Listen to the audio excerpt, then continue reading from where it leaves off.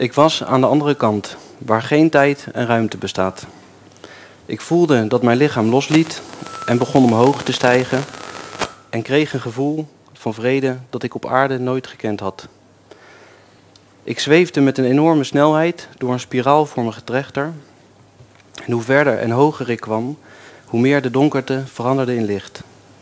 Een alles overweldigend gevoel van liefde kwam over mij. Een aards gevoel, dat ik, uh, niet het aardse gevoel dat ik ook goed kende, maar iets dat ik niet beschrijven kan.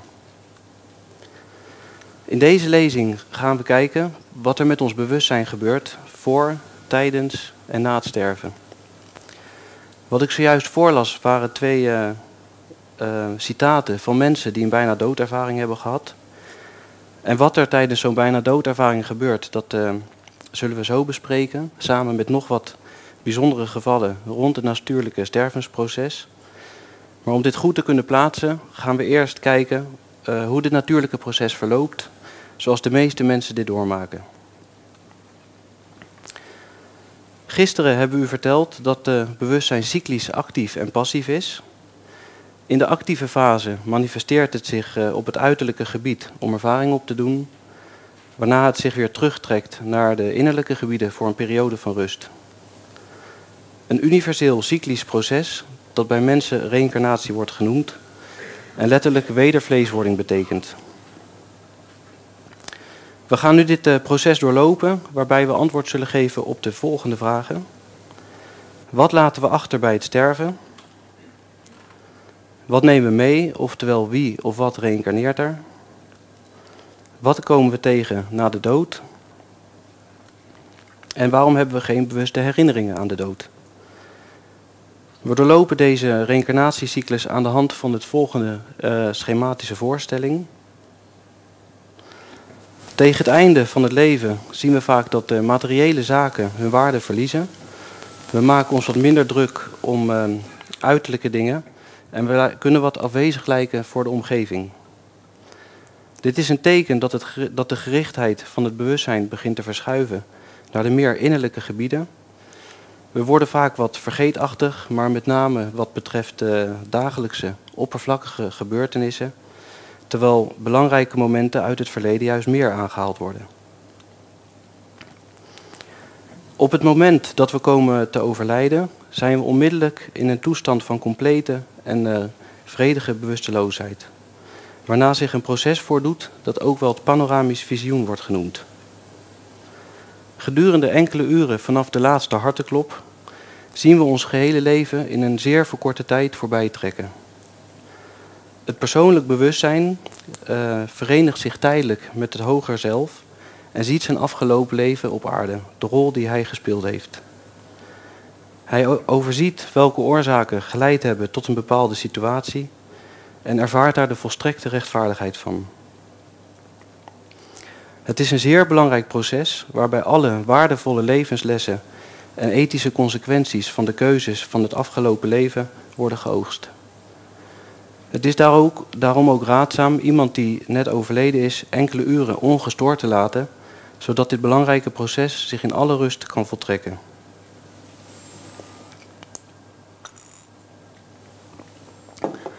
De stroom van bewustzijn is na dit panoramisch visioen definitief uit het lichaam getrokken, waarmee de dood volledig is. Er is vervolgens weer sprake van een totale uh, onzelfbewustheid, want net zoals dat we niet zelfbewust in slaap vallen, sterven we ook niet zelfbewust. We komen weer tot enige vage vorm van bewustzijn in Kamaloka. Een gebied of toestand waar al onze persoonlijke begeerten en neigingen hun eh, uitwerking hebben. Kamaloka betekent letterlijk begeerteplaats. We bevinden ons nu in het astrale gebied waar we gisteren ook over hebben gesproken dat net iets etherischer is dan onze uiterlijke wereld en waar onze persoonlijke emoties en verlangens uh, geworteld zijn. Een spiritueel gericht mens zal dan ook vrij vlot door dit gebied heen gaan en het nauwelijks of niet bewust ervaren omdat het er weinig affiniteit mee heeft. Maar naarmate iemand sterke persoonlijke verlangens en uh, uiterlijke begeertes heeft gehad, zal het verblijf in deze toestand langer duren omdat er simpelweg meer tijd nodig is voordat uh, deze energie is uitgewerkt en losgelaten. We hebben hiermee het antwoord op de eerste vraag: wat laten we achter bij het sterven? Het zijn alle lagere persoonlijk gerichte karakteristieken van de mens. Dat deel van ons dat leeft in de illusie van afgescheidenheid van alle andere wezens. Een illusie die we produceren omdat we ons uh, identificeren met het uiterlijke, zintuigelijke bestaan.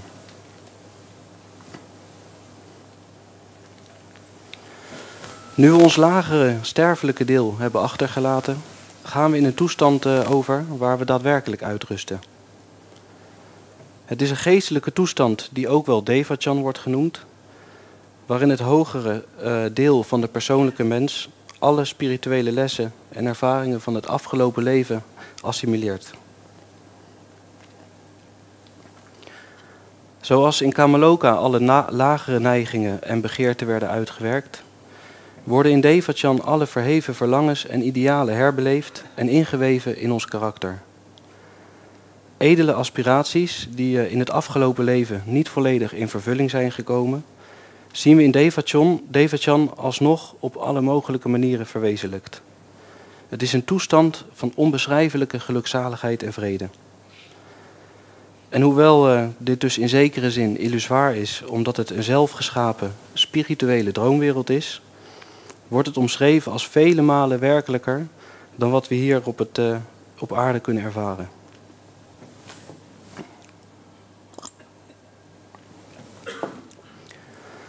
Als tenslotte al onze idealen zijn uh, herbeleefd en verwerkt, verliezen we de aantrekking tot deze geestelijke sfeer en worden we weer aangetrokken tot het aardse leven waar we zo vertrouwd mee zijn. Zodra we Devachan dan verlaten, pakken we onze uh, bouwstenen van onze lagere natuur weer op. Dit zijn niet alleen onze fysieke bouwstenen, maar ook onze neigingen, begeerten en de andere karakter, karaktereigenschappen. Bij het bereiken van volwassenheid hebben we dan alle bouwstenen weer verzameld en pakken we de draad weer op waar we gebleven zijn.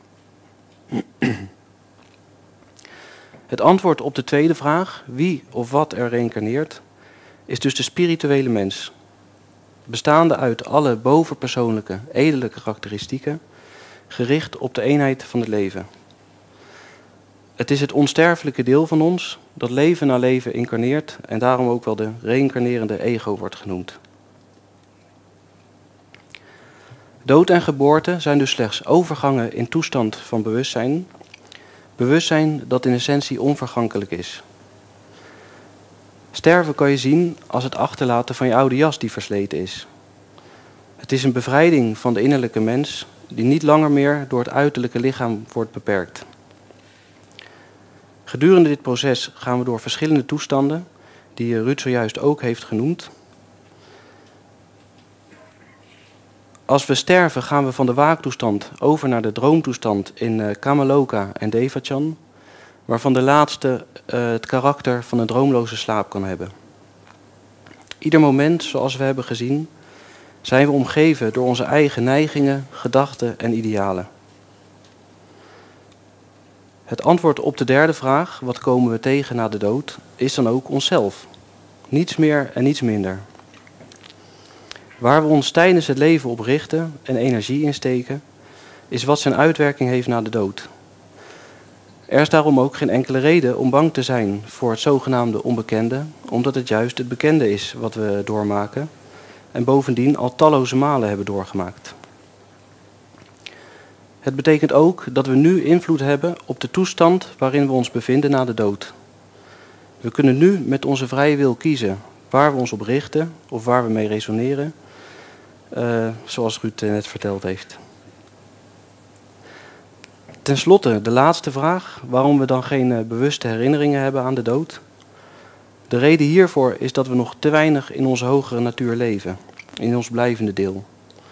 We hebben simpelweg nog te weinig affiniteit om uh, in dit uh, niveau van bewustzijn zelfbewuste ervaringen op te kunnen doen. We identificeren ons in ons huidige stadium van uh, ontwikkeling met ons lagere vergankelijke deel. En het is juist dit deel dat dus uiteenvalt bij de dood, inclusief het fysieke brein, dat gekoppeld is aan onze persoonlijke herinneringen en indrukken van het afgelopen leven. Het betekent echter niet dat we helemaal niks meer eh, herinneren van vorige levens, maar daarover, vertelt Baant Forum in de volgende lezing meer.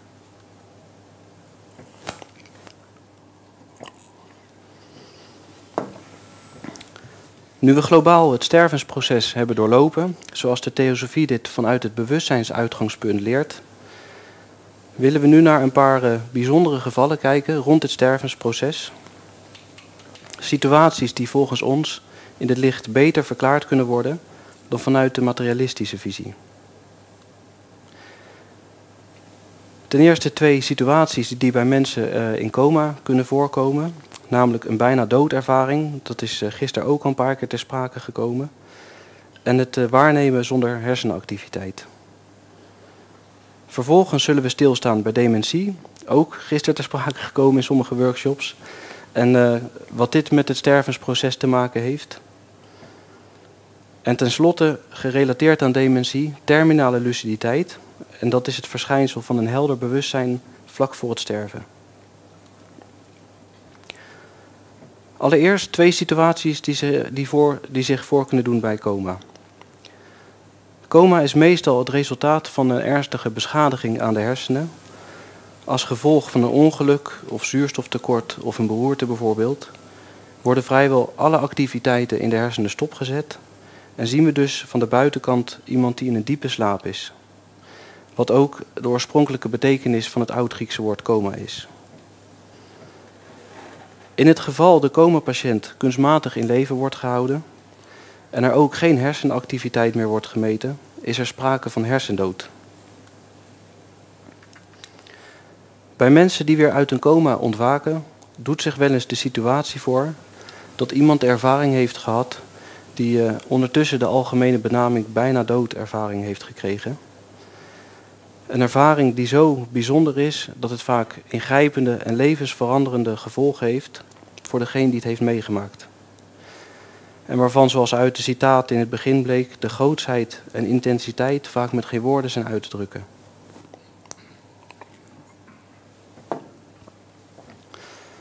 Een aantal kenmerkende elementen die in vrijwel alle gevallen worden genoemd, is een terugblik op het leven, de ervaring uh, om buiten het lichaam te zijn, het doorgaan van een tunnel met een stralend licht aan het eind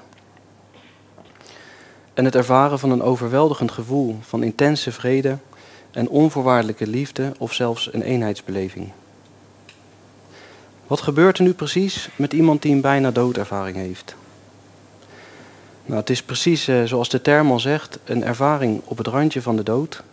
Het is het ingaan van het stervensproces, waarbij het menselijk bewustzijn zich terugtrekt naar meer innerlijke gebieden. Maar met dat essentiële verschil dat de verbinding met het lichaam niet verbroken wordt. Het waarnemend bewustzijn is dan ook nog steeds de persoonlijke mens, die op het astrale gebied, los van het lichaam en de filter van de hersenen, de overweldigende ervaring opdoet maar wel nog steeds gekleurd vanuit de persoonlijkheid. Het is de dagelijkse ik die de ervaring in de droomtoestand interpreteert. En dit is ook precies de reden waarom een gelovig iemand zegt God te gezien te hebben, een atheïst bijvoorbeeld alleen een wit licht ziet en weer een ander een overleden geliefde, afhankelijk van zijn of haar geloof of overtuiging. Het voorbij zien trekken van het leven is dan ook niet het daadwerkelijke panoramisch visioen dat we meemaken als we echt sterven, van, uh, aanschouwd vanuit ons hoger zelf.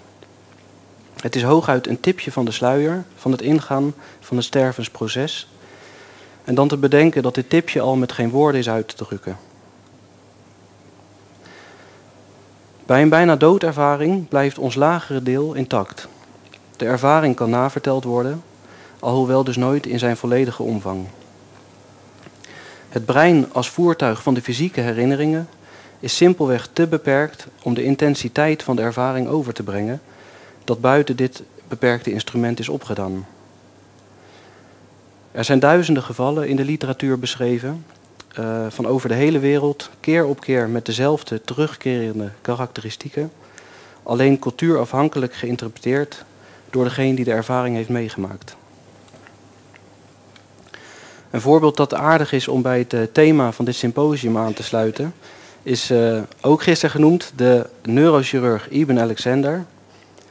Een Amerikaanse wetenschapper die doordat hij zelf een bijna doodervaring heeft gehad, compleet van de levensvisie is veranderd. Hij heeft er ook een boek over geschreven dat onlangs is uitgekomen met de titel Na dit leven.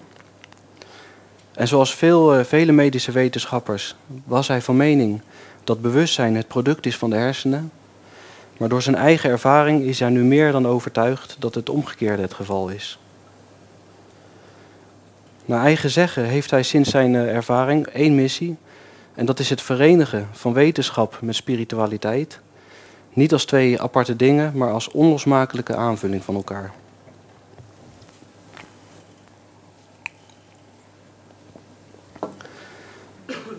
Iets anders dat kan voorkomen bij mensen die uit een eh, coma ontwaken, is dat ze toeschouwer zijn geweest van hun eigen levensreddende operatie of gebeurtenissen kunnen navertellen die rondom hun bed hebben plaatsgevonden. Dit komt ook voor bij coma-patiënten waar helemaal geen hersenactiviteit meer werd gemeten. In zijn boek Eindeloos Bewustzijn noemt de cardioloog Pim van Lommel het voorbeeld van een vrouw die eh, hersendood was verklaard maar na maanden in coma te hebben gelegen toch bijkwam en uh, letterlijk kon navertellen wat ze artsen rond haar bed had horen vertellen. Iets dat volgens mensen die, uitgaan, uh, die ervan uitgaan dat we ons brein zijn, onmogelijk kan hebben plaatsgevonden, omdat het brein hier gewoon niet de waarnemer kan zijn geweest. Het gaat in deze gevallen om mensen die in een toestand verkeren waarin ze zelfbewust waarnemen in het astrale gebied en dit weten vast te houden na het ontwaken uit een coma. Er is tijdens de coma dan sprake van een wakker zijn in de astrale sfeer. Zoals we onze fysieke zintuigen hebben op dit gebied, hebben we ze ook op astraal gebied. En uh, er wordt bovendien door mensen die deze ervaring hebben gehad uh, gezegd dat die ervaring, dat waarnemen, is met een, uh, met een helderheid en een nauwkeurigheid is waartoe hun fysieke zintuigen niet in staat zijn. Een belangrijke conclusie die we hieruit kunnen trekken is dat hersendood geen dood is. Op zijn minst is voorzichtigheid geboden wanneer er geen hersenactiviteit meer wordt gemeten. Het is allerminst een bewijs dat de ware mens werkelijk vertrokken is. We kunnen namelijk van buitenaf nooit het exacte moment waarnemen waarop de verbinding met het lichaam echt definitief verbroken is. Op dit moment is hersendood nog juridisch gelijkgesteld aan gewone dood of aan de werkelijke dood, met alle mogelijke gevolgen van dien. Twee jaar geleden bijvoorbeeld is er in Denemarken nog flinke ophef ontstaan nadat een jonge vrouw na een ernstig ongeluk in coma was geraakt en uh, hersendood was verklaard. Artsen stonden op het punt om haar organen te transplanteren, maar op het moment dat ze werd losgekoppeld van de hart-longmachine bleek ze toch zelfstandig door te ademen. Tien dagen later was ze weer thuis en enkele maanden later reed ze gewoon weer op haar paard.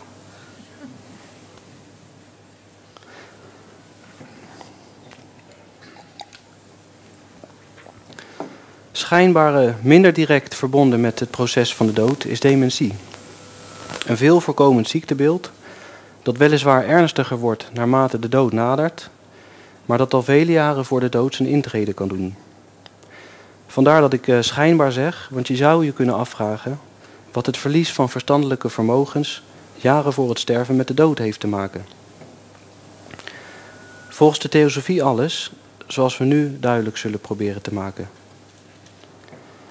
Dementie is een verzamelnaam voor uh, ruim 50 verschillende ziektes, waarvan Alzheimer de meest voorkomende.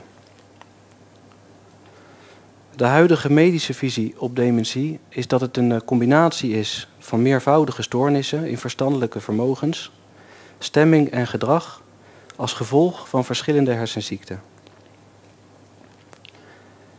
De theosofie geeft aan het verlies van deze verstandelijke vermogens nog een andere uitleg.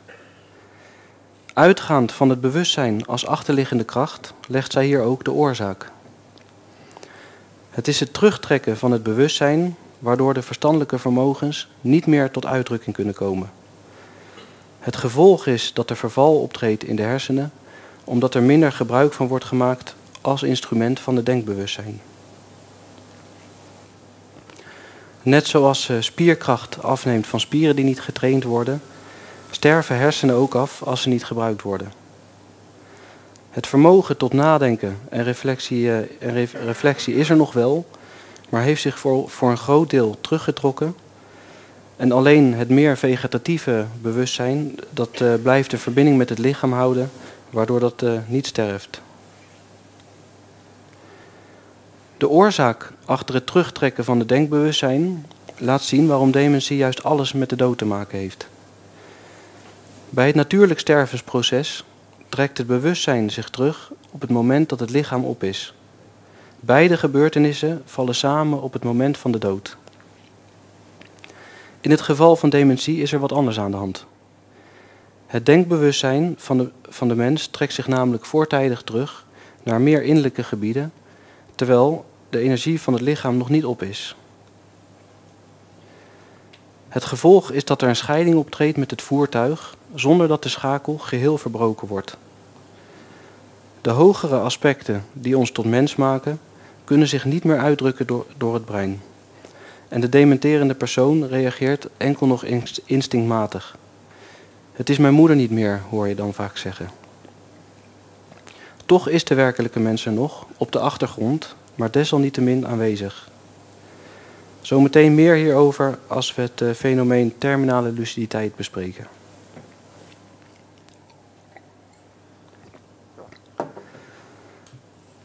Wat is nu de oorzaak uh, van het vervroegd terugtrekken van, het, van de hogere mens? Ook dit is terug te voeren op ons bewustzijn, ons eigen denken. Het is namelijk een disharmonie ontstaan in dit of in een vorig leven door een verwaarlozing van het denken.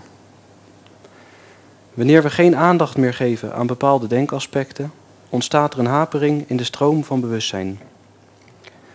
Dit kan ertoe leiden dat deze stroom niet meer ongehinderd kan vloeien, met als gevolg dat het denkbewustzijn zich terugtrekt. We kunnen echter nooit generaliseren, omdat je niet weet waar de disharmonie is ontstaan. En bovendien kan deze disharmonie zijn oorsprong dus in dit of in een vorig leven hebben.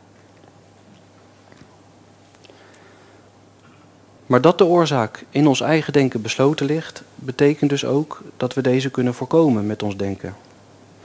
Dementie is dan ook niet iets dat zonder meer bij het leven hoort. Het is een onbalans die door middel van harmonieuze gerichtheid en beheersing van het denken voorkomen kan worden. Hoe dat proces werkt, kunnen we zelf in onze omgeving herkennen.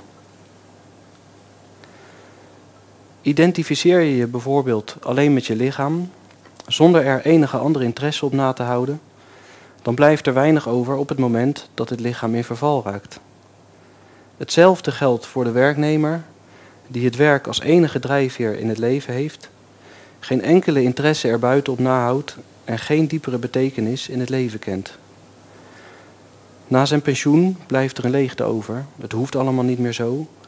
En zonder, dat de, zonder, dat, en zonder enige invulling te geven aan de waardevolle tijd, stopt de training van het brein. Ontwikkel daarom alle aspecten die je als mens bent in harmonie. Dat betekent de lagere onder beheersing van en dien het aan de hogere duurzame aspecten. Een gezond leefpatroon draagt hier natuurlijk aan bij, um, maar is slechts een voorwaarde voor het gezond houden van onze voertuigelijke kant. Belangrijker is dat we ons richten op onze hogere denkaspecten, waardoor onze hersenen automatisch getraind worden en fit blijven.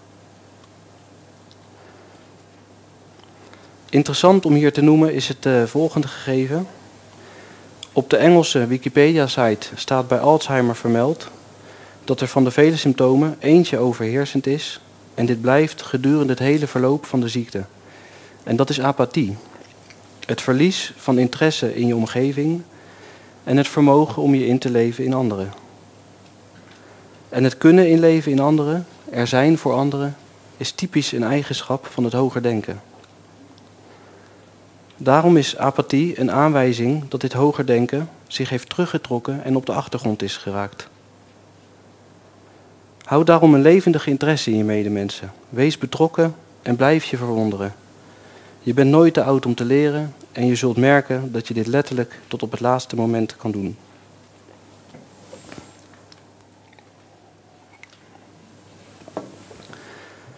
Tot slot willen we stilstaan bij het eh, fenomeen terminale luciditeit, dat nauw verbonden is met dementie. Het is het verschijnsel dat mensen die jarenlang dement waren of uh, aan een psychische aandoening leden, plotseling uh, vlak voor hun sterven een helder bewustzijn hebben en weer toegang krijgen tot hun geheugen. Iets dat volgens de materialistische visie niet zou moeten kunnen. Want hoe kan een helder bewustzijn dat verdwenen was, plotseling weer uit een beschadigd brein tevoorschijn komen? Toch is het een uh, verschijnsel dat bij de oude Grieken al beschreven werd. En volgens vrij recent gepubliceerd onderzoek van uh, Bruce Grayson en de Duitse bioloog Michael Nam bij dementie zeer regelmatig blijkt voor te komen. Een voorbeeld uit dit onderzoek is een 92-jarige uh, vrouw die sinds negen jaar de diagnose Alzheimer had en, waar, en die haar naaste familieleden, waaronder haar eigen zoon, niet meer kon herkennen.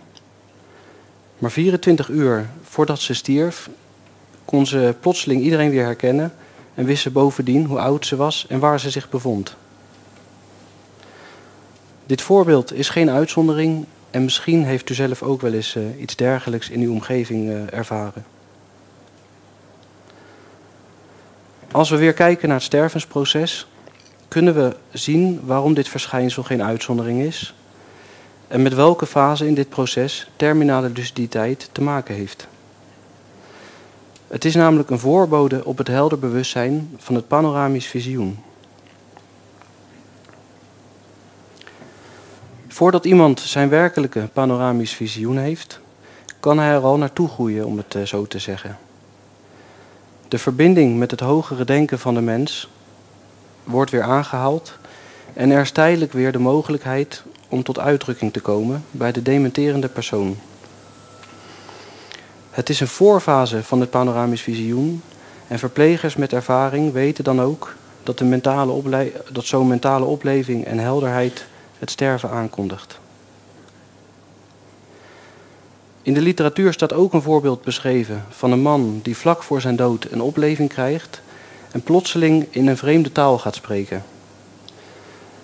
Deze taal bleek later van zijn geboorteland, dat hij eh, al had verlaten toen hij pas een paar jaar oud was, voordat hij deze taal beheerste. Hoe het kan dat hij plotseling de verloren herinnering aan deze taal eh, weer binnen kon halen, zal in de volgende lezing duidelijk worden.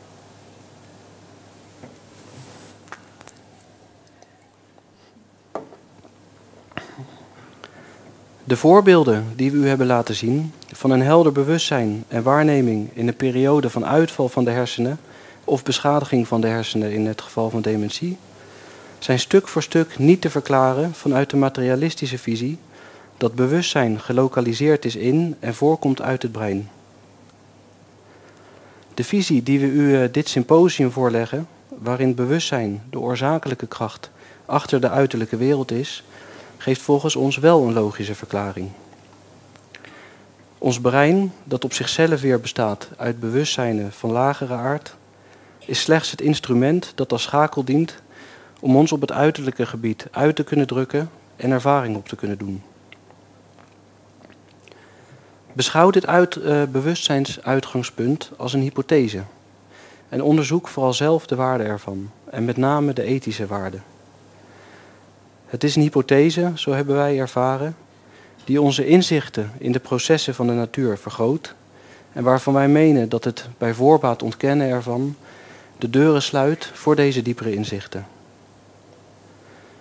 De onbevooroordeelde conclusie van de onderzoekers Grayson en eh, Nam was dan ook dat er meer onderzoek nodig is naar het bijzondere verschijnsel van terminale luciditeit. Maar dit vereist wel een open houding en verder durven kijken dan de eerste materialistische bril. Het is met de derde bril van ons hogere denkbewustzijn waarmee we in staat zijn dit uh, onbevooroordeelde, onbevooroordeelde onderzoek te doen.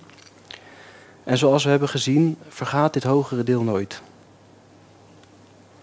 Het is dat deel van ons wat er altijd is en waar we altijd uit kunnen putten als we ons erop afstemmen of ermee resoneren, zoals Ruud eh, net verteld heeft. Hier kunnen we op ieder moment mee aan de slag en dat is ook precies wat we vanmiddag gaan doen bij de workshop. Dank u wel.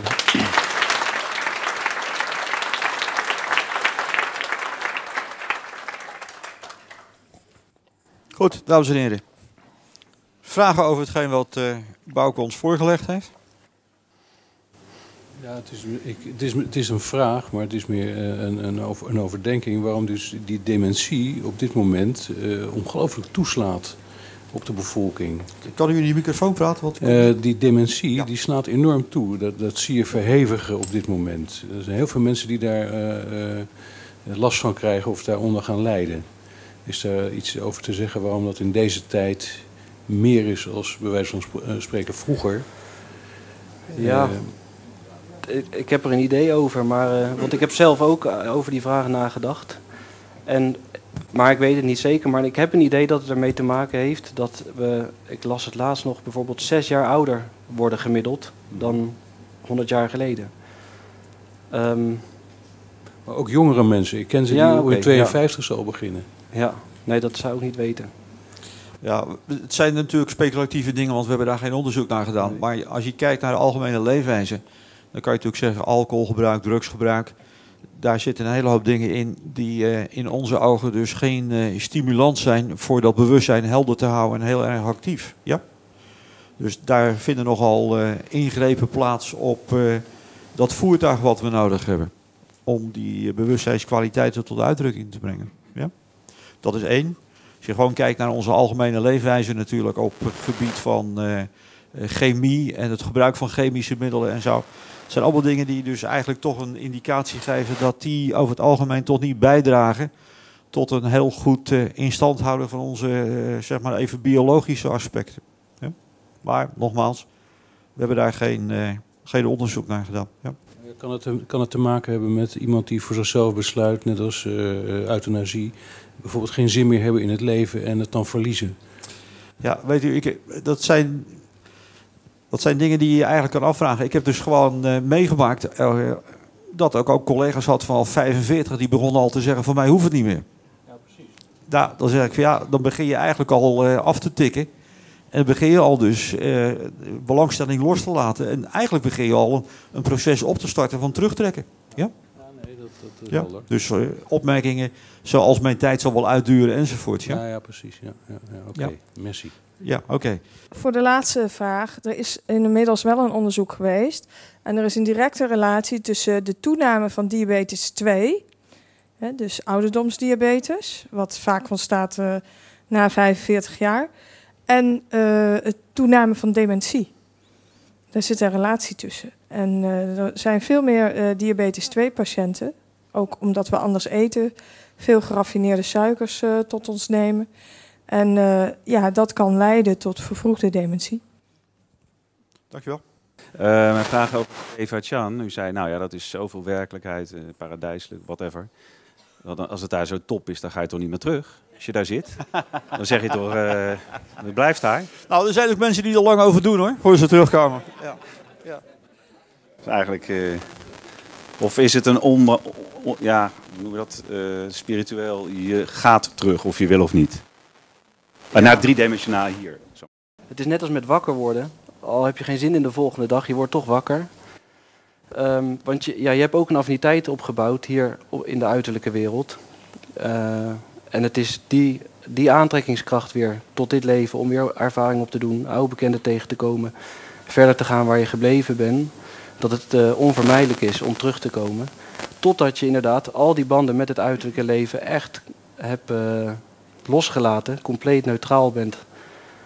Um, en dus niet meer uh, op de aarde reïncarneert. Ja, ik zeg het een beetje kort, maar...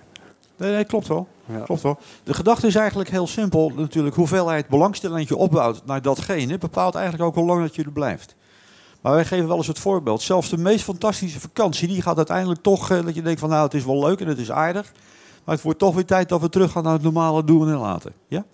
Dat is dus eigenlijk die situatie. Als u zegt, nou ik wil uitslapen, moet u maar eens proberen te zeggen tegen uzelf van nou de volgende dag ik wil niet meer wakker worden, ik blijf de hele dag, dag doorslapen. Nou misschien als u 12 uur haalt of 1 uur, maar u wordt wakker. Dat is toch omdat je ook nog een andere aantrekkingskracht hebt. Hè? Dus het is eigenlijk een balans tussen de aantrekkingskracht in die uiterlijke wereld, die we toch eigenlijk fantastisch vinden. Al kankeren we natuurlijk wel vaak, maar we zijn er wel mee verbonden. En die spirituele aspiratie die we hebben. En het is eigenlijk die balans die eigenlijk als het ware ons heen en weer doet slingeren. Als ik goed begrepen heb, dan uh, kies je zelf ervoor om vanuit uh, de toestand van de, van de eeuwige droom weer terug te keren naar de aarde. Maar het komt voor dat op een gegeven ogenblik kinderen dood worden geboren. Is dat dan een situatie dat je op het laatste moment bedenkt? Of heeft het een andere oorzaak? Nee, uh, nou, dat verhaal zit een klein beetje complexer in elkaar, denken wij zelf.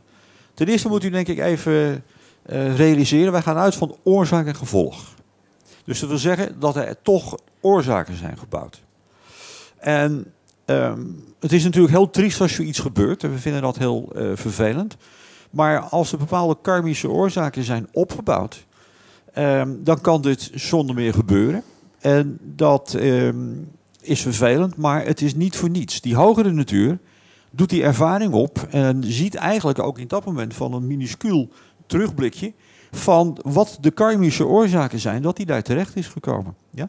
En trekt daar bijvoorbeeld een bepaalde conclusie uit, zodat hij de volgende keer, laten we maar even simpel zeggen, een beter uh, ouderpaar uitzoekt of waar hij meer in harmonie is. Ja? Het is heel complex, want je kan het niet individueel duiden, want dan zou je eigenlijk een aantal incarnaties van een ander moeten weten voordat je tot zo'n conclusie moet komen. Ja? En dan is het eigenlijk nog complexer, want dan ben je niet voldoende met die incarnaties van die ene persoon. Dan moet je ook de geschiedenis van de ouders erbij nemen.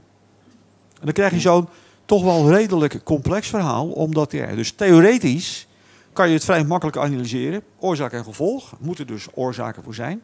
Welke dat individueel geweest zijn, ja, dat kan heel complex zijn. Ja? Uh, we hebben nu uh, ja, gehoord hoe het natuurlijk uh, stervensproces gaat. Wat verschilt dat met een onnatuurlijke sterven? Met bijvoorbeeld euthanasie of een ongeluk? Is dat veel anders? Um, ja, dat is zeker anders. In die zin dat. ja, Herman, ik, vergeet maar, ik waag me niet aan. Nou, het, is geen probleem. Ja, het is een lastige. Ja. Nou, het valt mee. Het is zo, wat we natuurlijk moeten realiseren is dat we eigenlijk bij ongelukken en bij uh, zeg maar, um, euthanasie alleen maar het uiterlijke lichaam weghalen. En je hebt net gehoord van Bouke dat we natuurlijk uh, uh, veel meer zijn dan het uiterlijke lichaam. En dat eigenlijk dat bewustzijn en alles wat hoger is, maar ook die persoonlijke sfeer, blijft bestaan. Dus wat is het vervelende daarvan? het is eigenlijk een compleet mens minus het lichaam. Nou, het lichaam is helemaal niet het belangrijkste. Dus eigenlijk blijven die mensen in een bepaalde toestand verkeren.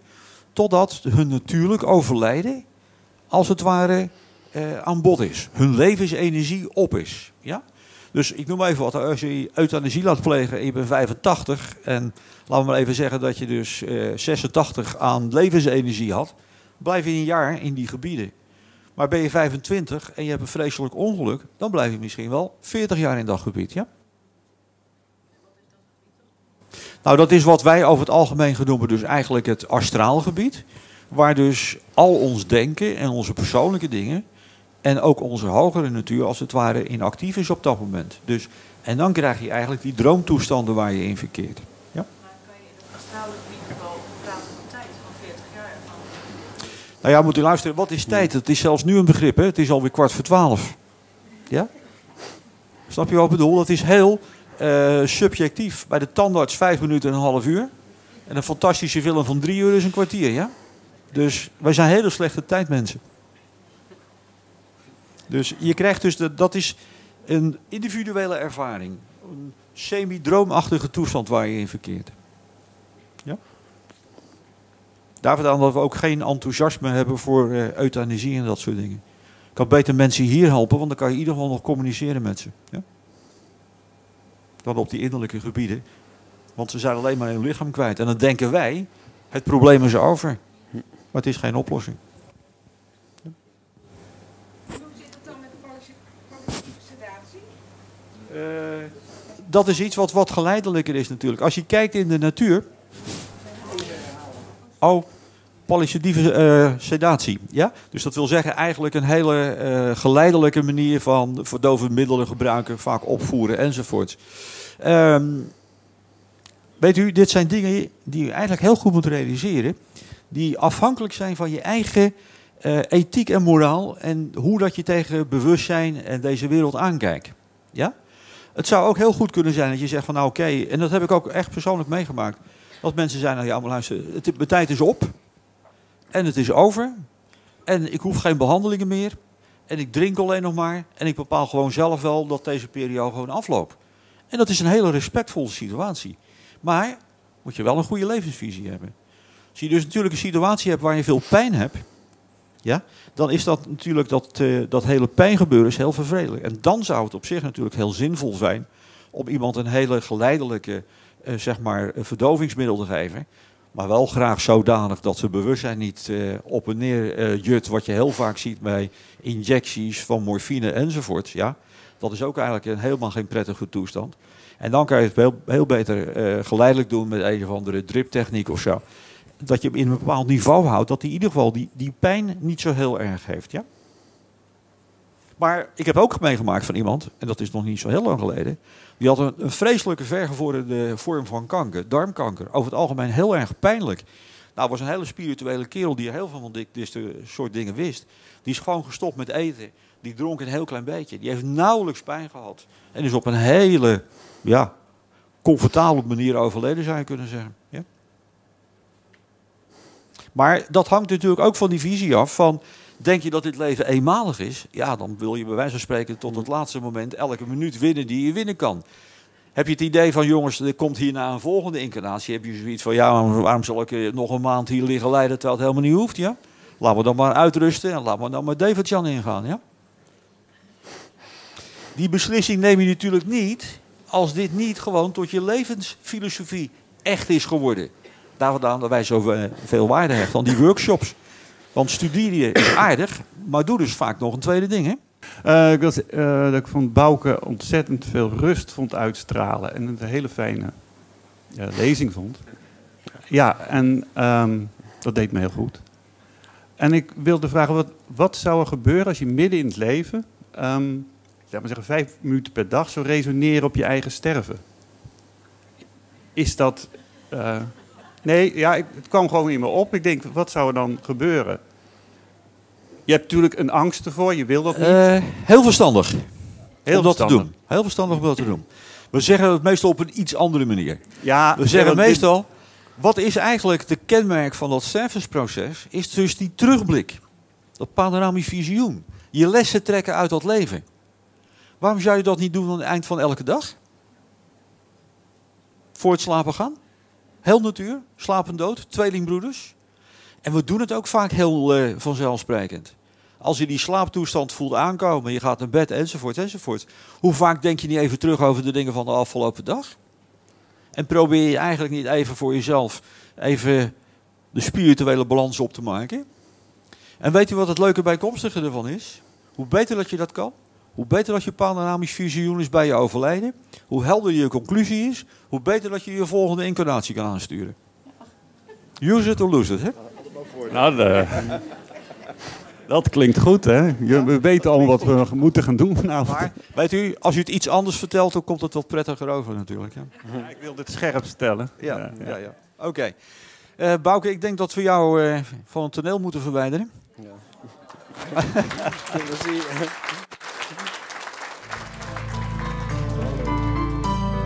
han då är 800